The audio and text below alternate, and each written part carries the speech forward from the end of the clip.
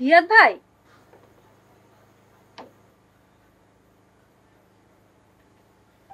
কি ছিল এটা? কি রে? সকাল সকাল খবর দিলি কেন? ছুটির দিনও কি একটু শান্তিতে ঘুমাইতে দিবি না? আমি সারা রাত ঘুমাইতে পারিনি। আর তুই শান্তিতে ঘুমাবি?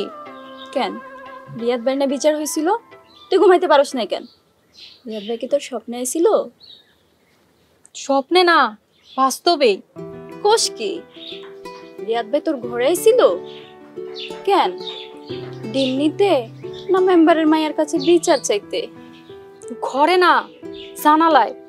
রোজ রাইতে যে রিয়াদ ভাই আমার জানালায় এসে দাঁড়ায় থাকে, গতকাল রাইতে তার শিওর হইলাম। কেমনে? চুপি চুপি গিয়া কি তার পেছন থেকে জড়াই ধরছিলি? আরে যা এইসব কিছু না।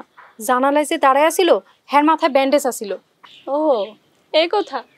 ব্যান্ডেজ শুধু রিয়াদ ভাইয়ের মাথায় না, টুটুলের মাথায়ও ছিল। আসলেই তো এটা তো আমি ভুলেই গেছিলাম। আমার মাথায় আহে নাই। আসব কেমনে? সারাক্ষণ তো খালি মাথায় রিয়াদ বের কথাই ঘুরে। তুই আসলে রিয়াদ বের প্রেমে পড়ছস? আরে দূর প্রেম টেম কিছু না। কি কার প্রেমে পড়ছে? কে আবার? আমাদের মেম্বার চাচা আপনার প্রেমে পড়ছে। সে তো বিয়ের রাইতেই প্রেমে পড়ছে। হেই যে পড়ছে আর উঠতেই পারে নাই। তা উঠবো কেমনে? এত সুন্দরী একটা বউ। আমার চাচার চোখে তো দান্দা লেগে গেছে। কথা একেবারে মিশা কও নাই। বিয়ার পর প্রথম প্রথম তো সে আমারে দেখলেই খালি উষ্টা খাইতো। তারপর থেকে মানুষে আরে উষ্টা মতো কইয়াই ডাকে।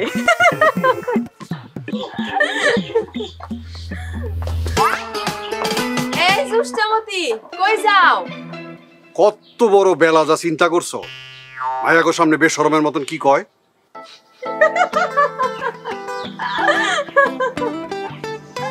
কেমন হনহনায় চলে গেল দেখছ?